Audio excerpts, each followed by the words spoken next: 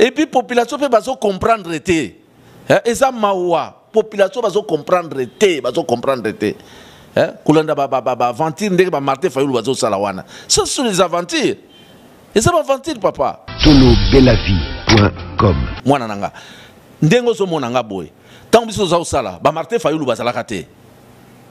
ba Jean Pierre Bemba bazalaka te nazo biso verite hein Batala nga bien Jean Pierre Bemba tango biso ozosala politique ba Jean Pierre Bemba bazalaka te ba Fayulu bazalaka te ba Muzito azalaka te Muzito d'abord azalaka inspecteur na finance kuna aotambola na Mercedes na yo babengaka tatu ya jaune boye Tolo belavie.com Kabila na bato na ye baza na strategie ya mabe ya mabe lelo nauti koyoka apesi candidat na ye na Senat Tambwe Mwamba donc aponi kaka moto ya mabe tolobelavie.com tala naza koloba na jean pierre bemba gombo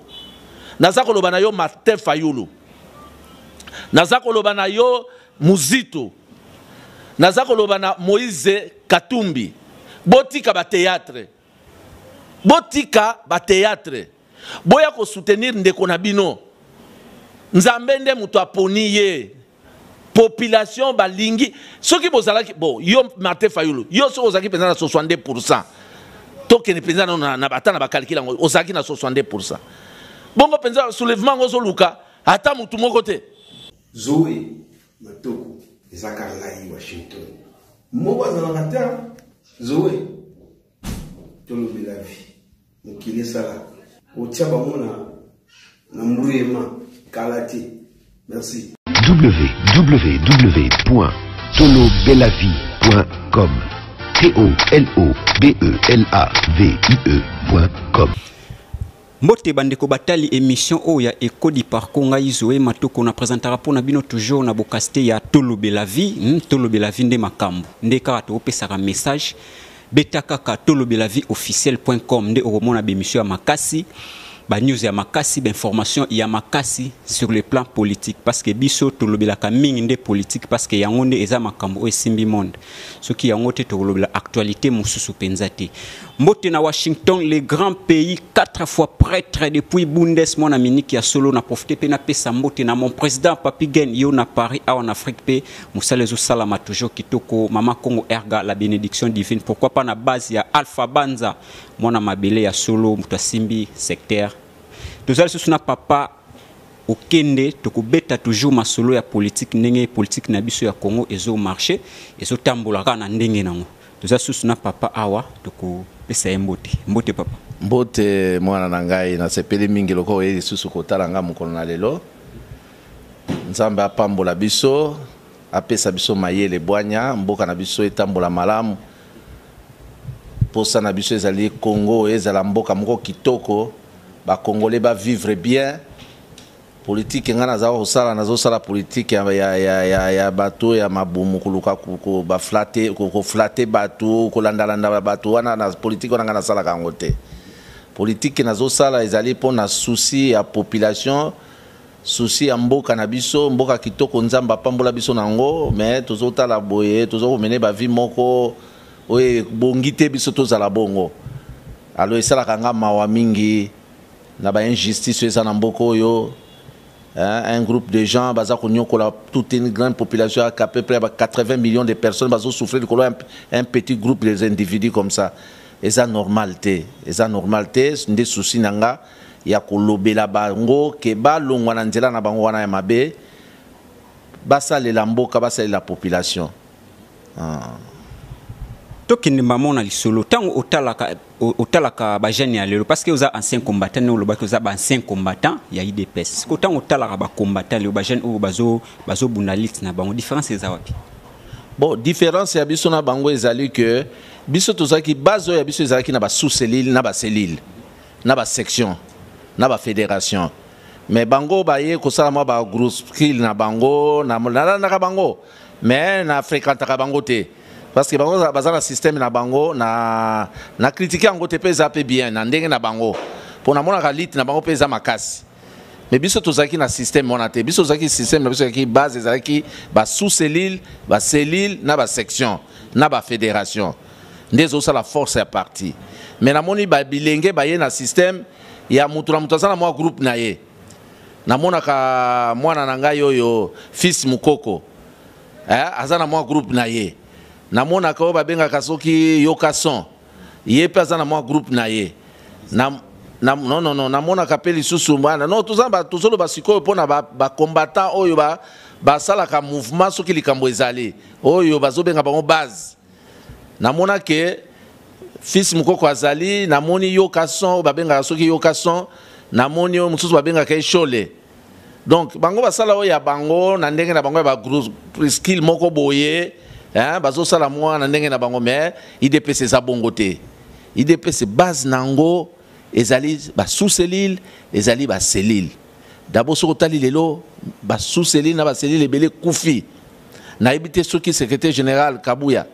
alandelaka yango nayebi te mais na constat nga nasali esika nga nazovanda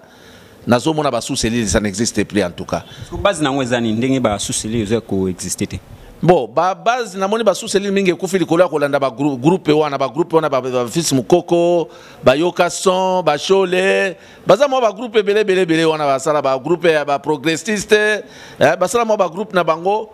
mais idps vraiment ce n'est pas ça idps base nango ndenge tobandaka koinstalle basous cellule na bacellule eh, basection nde base yango wana omoni alors ngai nakutani nano na ba secrétaire général ba, ba augustin kabuya te nakutani nano na président intérimaire nani jean marc kabund te mpo tosolola likambo wana mais nasengaka mokolo na kokutana na bango peut-être nde tokopartage toyeba eloko nini te bango bakomi kosala eza un peu différent na oyo biso toza kosala ah. Okay. ok merci papa okende simon pierre tokota sikoyo na baactualité na biso ya lelo toutaki kozala le, le, le 30 juin tomonaki président félix tshisekedi anilaki marche ndenge esalamaka toujours défilé ya basoda e na ngambo ya lamuka Eh, ba, ba coordonnateur ya lamuka bango nyonso nde bazalaka basignaki mpo na marche bato babima ba, ba, ba libanda me tomoni ondire baboyaki yango bagaz ebetami bato bazwi masasi toyebi te soko analyse na yo ekozala mais non ezali président félix te moto aboyaki non eza gouverneur ya ville bon soki eloko wana baboyaki c'est parce que suite ya makambo oyo eutaki koleka mokolo euh, jean pierre bemba azongaki na mboka na kinshasa Hein, ba dégâts oyo esalamaki. Il y a eu beaucoup de dégâts jour wana. Alors epesaki lokola mwa kanda hein, na ba autorités. Parce qu'il y a eu beaucoup de dégâts mokolo Jean-Pierre ayaki. Kobuka kobebisa mituka ya bato eh, meme ba saute mouton bazosala kuna kobuka ba, ba, ba, ba chantier ya saute mouton hein, kopanza biloko ba, ba nani oyo namonaki oyo nani écran géant ya or, orange hein, bapanzi yango eh, ya beaucoup de dégâts ya beaucoup de dégâts ba policiers à peu près ceux qui 11 policiers baza hospitalisés hein alors epesaki mwa kanda na na ba autorité babi mais non bato oyo tomoni que eh, bazoya na système moko ya kosala neti ba lokola bazalaki na ba projet na bango ya ba soulèvement alors epesaki mwa désordre C'est pourquoi ba autorités ba monaki que non, ba conseillaki ba monaki que non, eh, to pesa bango occasion les 30 juin basala eloko wana te. Eh, c'était ça mais eza te que président félix eh, apekisa bango basala bango défilé ndenge ezalaka ba- chaque eh, fete ya indépendance ndenge ezalaka tomona défilé esalama ya basoda basoda badefila sikoyo wana baautorisaki yango te pourquoi Eh, défilé baautorisaki te parce que président préféraki que tokɔta na méditation to me- papa mboka eza malamu te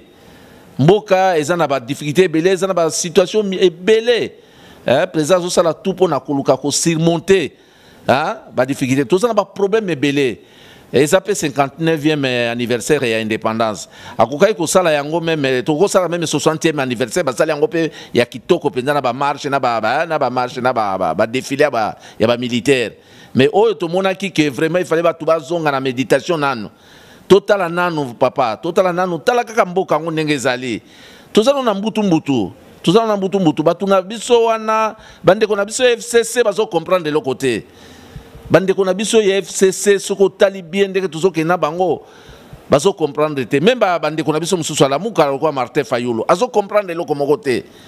mboka tokokontinue yango boye te ke oyo kaka ifo alongwa oyo nde aya tusa batambusaka mboka ndenge wana te hmm? batambusaka mboka ndenge wana te président félix azali wana déjà élu eh? baconfirme ye mpe na cour constitutionnelle bango basangana basoutenir ye soki balingi kosala opposition basala opposition républicaine babanda kotala esika bamoni oyo eza komarche te Basengi na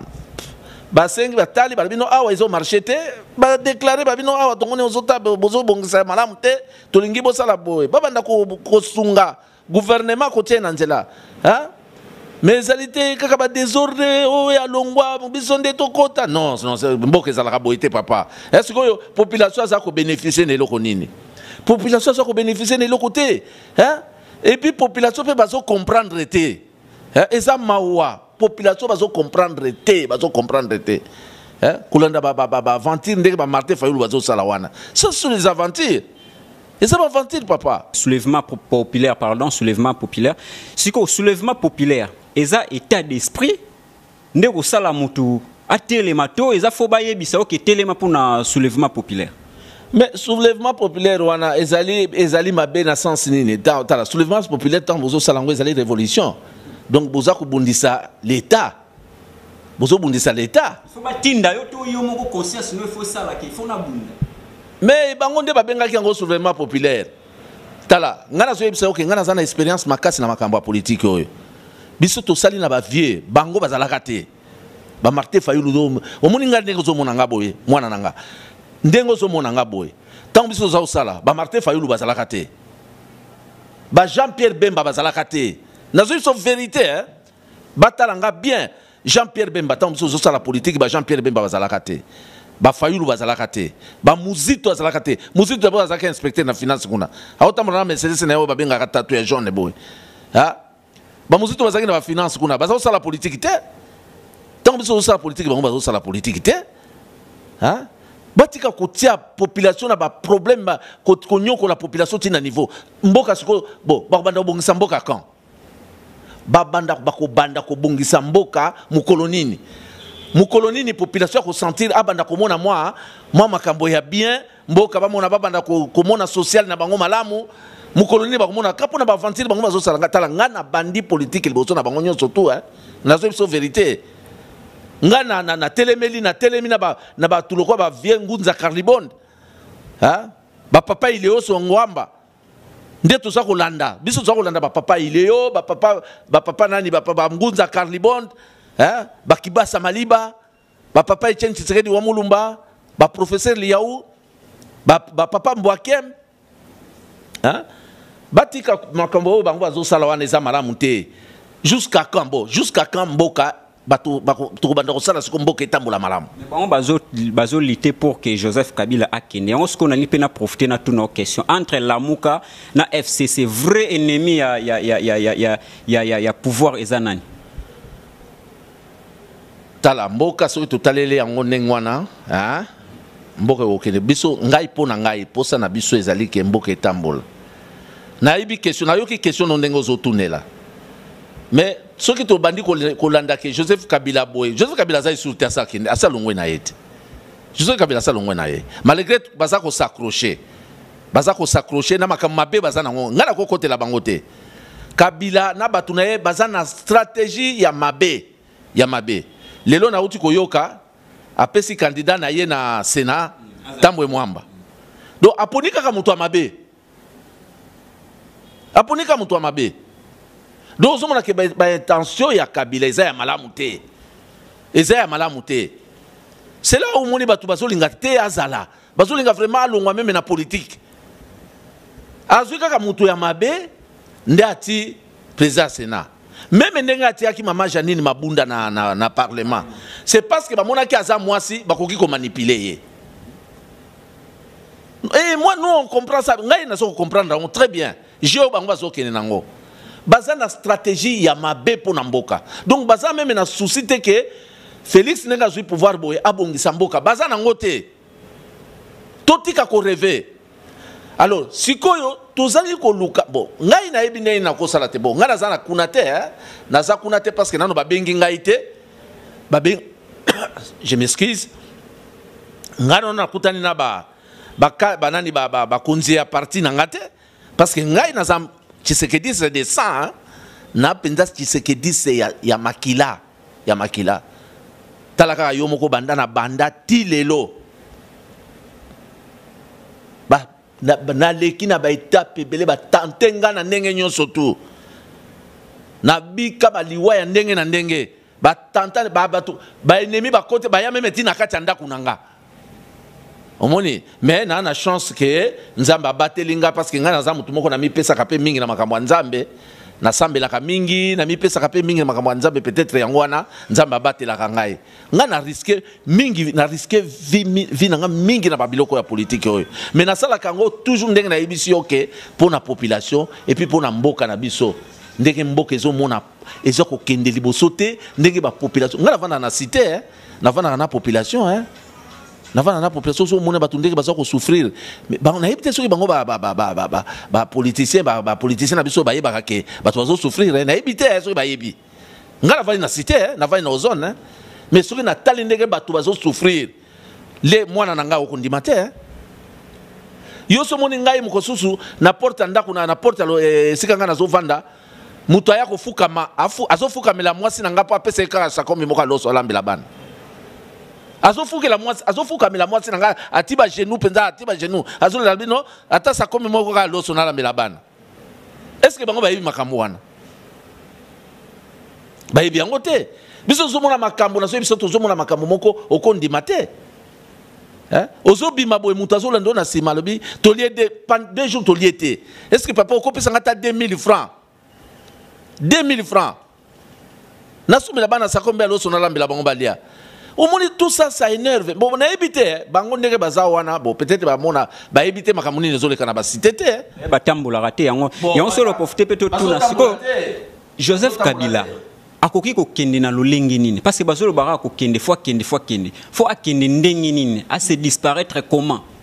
disparition ya joseph kabila comment po po joseph kabila akende eza bongo te bango nde bango nde bapoliticien bazosala politike na bango malamu te félix président félix antoine tshisekedi tshilombo azalaki na bango na opposition akei na bango ntina na genève lokola kopi na bango ya genève esimbaki te félix mpe moto opposition mpe nde moto aleki président de la république eloko nini bango bakosala bango nyonso ndenge baza wana baza ba leki na nga basangani baye ko soutenir Felix omoni omoni force oyo Felix ako kozwa yango wana pona ko ko affaiblir côté wana ya FCC ya mabe wana po ba affaiblir bango il faut Jean-Pierre Bemba Moïse Katumbi euh, qui encore ye Fayulu Fayulu Martin Fayulu ba Frank Diongo ba Diomi Eugène Diomi Dongala eh, basangani bango nyonso ba leader ba Jean Claude Vwemba eh, baza baninga na ngai nayebi Jean Claude Vwemba lelo te eh. toza kokutana na ye mingi na baconcert ba, ba, ba, ba, ba viva la musica tout ça eh. basangani bango nyonso tu wana basangani bango nyonso tu eh. baye bake kosoutenir moninga na bango parce que nakoki okoso te fcc baza na stratégie mabe mabe mpe stratégie bazoya nango wana ekoki kopelisa moto ekopelisa moto na mboka na biso alobi mpe bakozonga lisusu mais non bakozonga te ekopela nde moto estce estce bango bayebaka ke population balinga bango te tala soki bameki bakopelisa moto ngai nazoyebisa yo e, bazoyeba yango te nayebisaka ngai bi omoni eloko ezosala bango kwiti ya pouvoir naza na vie na ngai moko vie gaston azalaki mpe mokonzi ya awa azalaki mpe mwa motu moko azalaki na poste monene nalingi kotanga bakombo na ye nyonso to surtout bato nyonso bakoyeba ye mpo eh, naboyi kotanga kombo na ye mpo akoloba oh, mpo na nini okeli oloba makambo wana ah. ndeko wana aza mobutiste azalaki mobutiste ya kosakana te mobutiste mpo nalakisa yo ndenge kwiti ya pouvoir ezalaka mercredi Ambassadeur ya Etats-Unis ake na ake na Mont Ngaliema ayebisi bango ke AFDL azokota samedi. Ye azalaki na nyongo na biso ifale afuta biso tokei na bureau epa na ye afuta biso mbongo. Tolobi ke toza na information AFDL akota samedi. Libere ba mbongo na biso ezali pa na bino na so, na na na na na, na, na societe na yo. Bo libere biso mbongo. Oyebi reponse apesaka biso? Wana tokomi jeudi eh. bakokota samedi eh? abi bato wana bakokota awa te bakokota te bosi bomoni minduki tosombi tokozikisa bango kozikisa wana tokomi jeudi afdel akokota samedi azondima te asir na bango papa nazwi so pouvoir kwiti ya pouvoir eza malamu te eya lokola kindoki moko boye jeudi tozo senga a libere montant ya mbongo oyo azalaki nango mpo afuta biso azolesa biso ke bakokota te biso toyoki mpenza ambassadeur ya états-unis azoloba ke samedi afdel akokota alobi bakokota awa te soki baye awa tokozikisa bango moto bosi bomoni minduki tosombi donc euh, eza mawa mingi na bandeko na biso ya fcc bazo comprendre eloko moko te et je te dis baza na risque baza na risque soki ba changer te soki baluki ko similie te kosenga pardon na population te komikitisa te eh? kosenga bolimbisi ke non tosali pendant 18 ans eloko ya malonga tosali te population atikali na souffrance tobomi bapopulation tobebisi mboka bolimbisa biso totika faci akamba mboka malamu to, lokola tozomona parce que félix président félix antoine tshisekedi tshilombo azoya vraiment na baide ya malamu ya kobongisa mboka tosoutenir ye asala mosala mais non omoni bazokamata tambwe mwaba bazotia ye na sénat wana eza bapiège kaka bazotia mpo abanda kocomplike félix vie mais je ngai nazoyebisa bato ya fcc faites attention botika kosakana botika kosakana bozosakana na moto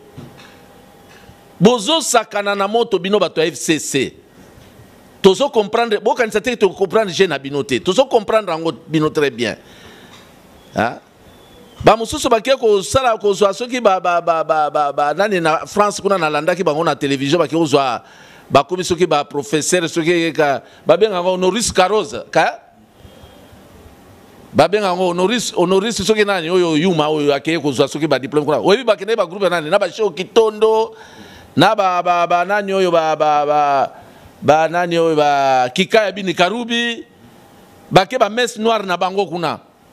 po ba renforcer masolo kaka po basala mabe po na mboka makambo malunga bake osala kuna eza te oyo ba oh non eh, akomi professeur eh, honorus caros soki soki honorus caros soki nini na lyon kuna bake kuna balati ye bage ya monene na loboko na mosapi eh, akomi e soki otali groupe wana ezalaki wana bazalaki basheo kitondo banani banani oyo bakika ya bini karubi groupe na bango wana toujours na ba manœuvre ya mabe kaka orke toza na besoin lisusu ya makambo wana te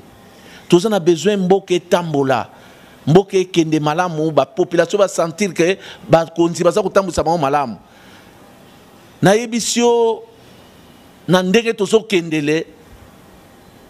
moto soki bakontinue kaka na ndenge wana ese soki azokontinue kaka moto ekopela ok tokende na dossier ya martin fayulu balobi keno azoluka poste asalaki lettre moko mpo ke bapesa ye poste toyebi te tanke analyste ekozala nini c'est vrai ke azoluka mpe poste we natangaki yango natangi ezali baproposition apesaki mpo na ndenge ya kolongwa na kati ya crise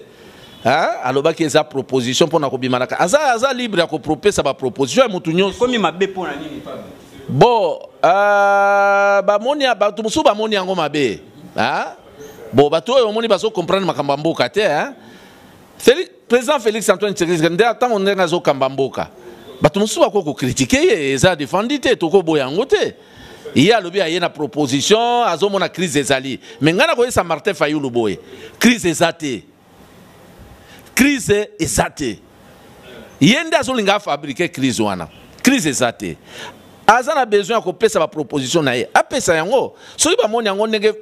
président alobaki na bunya soki bamoni balingi kozwa yango bazwi yango soki baboyi yango mpe baboyi yango eza obligatoire te parce que asalaki yango alors sikoyo ifo bandima yango non non akoki kopesa yango bakoki kotoko kondima bakoki kondima yango mpe bakoki koboya yango eya proposition asalaki eh, mpo na kobima na crise epuis ya ndenge azolobela yango ngai natangaki yango nyonso ndenge azoloba keno après 18 mois tozonga esu na baélection eh? la la la wana mpenza nde esika ngai namoni kutu naza ngai kutu personnellement na ndenge na ngai moko naza nango d'accord te ngai mpe naboyi yango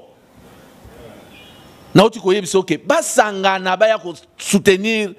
président félix azalaki moninga na bango baya kosoutenir ye baya kosoutenir population asi alembi babimisa population na pasi to na besoin ya babiloko bateatre oyo bango bazosala te to na besoin ya tala naza koloba na jean pierre bemba gombo naza koloba na yo martin fayulu naza koloba na yo muzito Naza koloba na Moise katumbi botika ba theatre botika ba theatre boya ko soutenir ndeko na bino nzambe nde moto aponi ye population balingi soki bozalaki bo yo martin fayulu yo soki ozalaki mpenza na 62 pourcent tokende mpenza ata na bakalkile yango ozalaki na 62 pourcent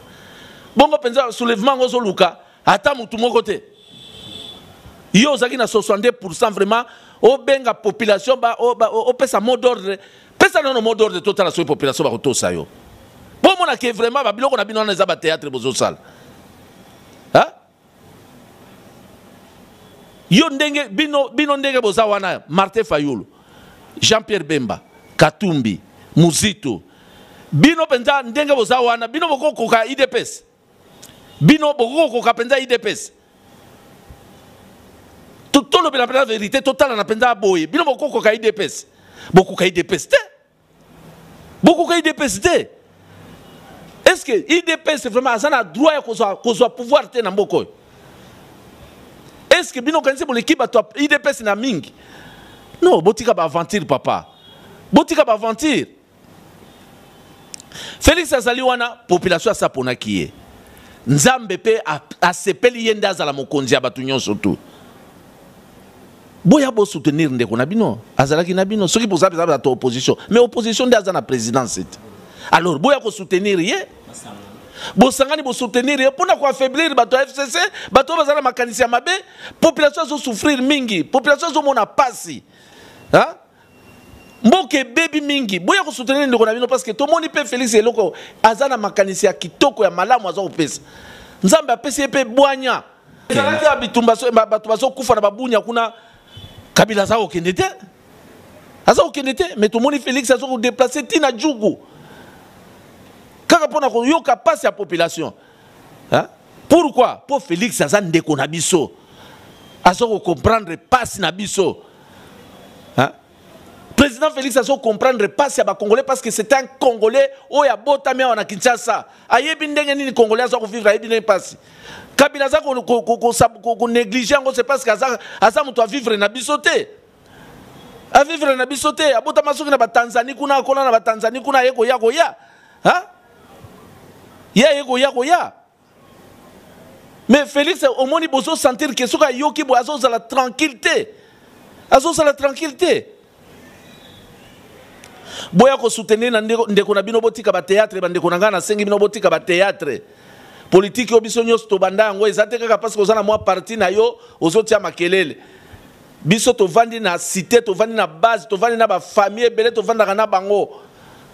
population baza na besoin ya bamakambo na bino bozolobaloba wana bozosalasala bateatre na bino wana te population baza na besoin ke bamona situation echange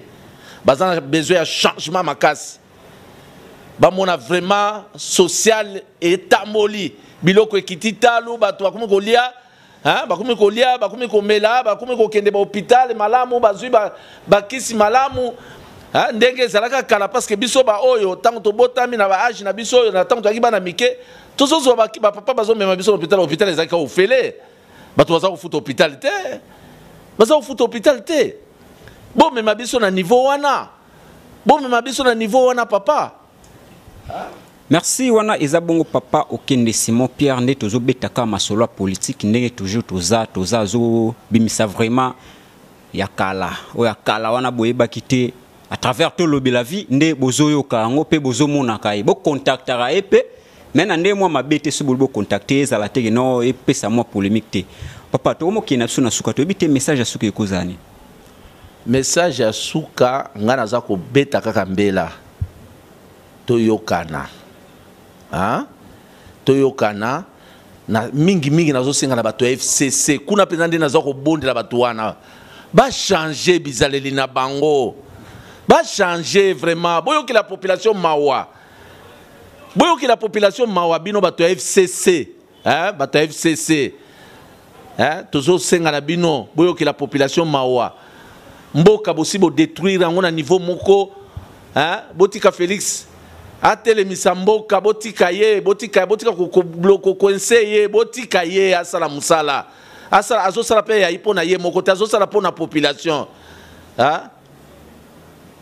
bobomi mpe bato ebele ezosala bino meme somo te eske soki bino basali bino ndenge bosala population oyo